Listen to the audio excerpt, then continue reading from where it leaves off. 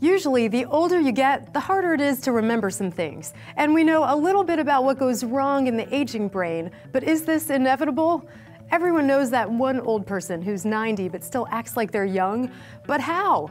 For answers, scientists are looking at people known as superagers and checking out their brains.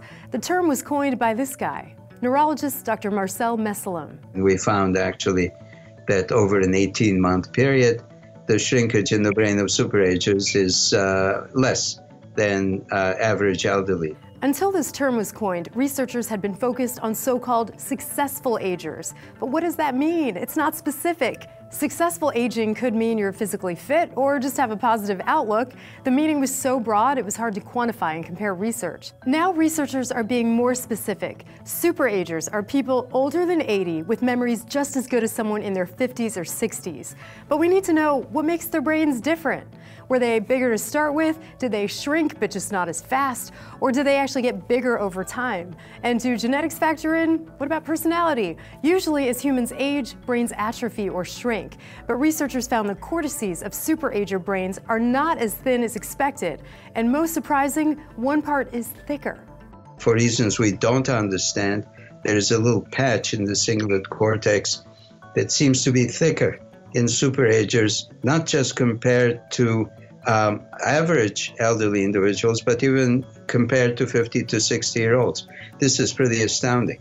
And within the thicker anterior cingulate region of the cortex was another difference. The superager brains had three to five times more von Economo neurons. These neurons are believed to help process information faster, and they're linked to higher social intelligence. Animals like whales and elephants and apes all have von Economo neurons. Beyond the anterior cingulate cortex, other research shows two more areas of the brain that may be protected in superagers. The mid-cingulate cortex and the anterior insula were just as thick as the younger control group, with no signs of that thinning that usually comes with aging. So superagers' brains don't seem to atrophy as much as regular brains, though we don't know why. But we haven't even talked about Alzheimer's. On the one hand, a recent study found superager brains had about 90% fewer neurofibrillary tangles. Those are twisted protein fibers that block information transfer. And 90% fewer amyloid plaques, protein clumps that damage healthy brain cells. Both are markers for Alzheimer's disease. On the other hand, the latest research shows some superager brains had major signs of Alzheimer's in the form of tangles and plaques, but they had no symptoms. In this area, somehow superagers defy the odds. Their brains could be more resistant to Alzheimer's or just more resilient. There's a lot we still don't know. So what do you and I have to do to become a superager? Well, some researchers at Massachusetts General suggest that working hard may work, both physically and mentally. They admit it's just a best guess theory, but there is a lot of research suggesting exercising the body may protect the brain. But when it comes to mental exercise, they say simple brain games are not enough. They believe you have to work until your brain feels a little crappy. You know that feeling when it hurts to think?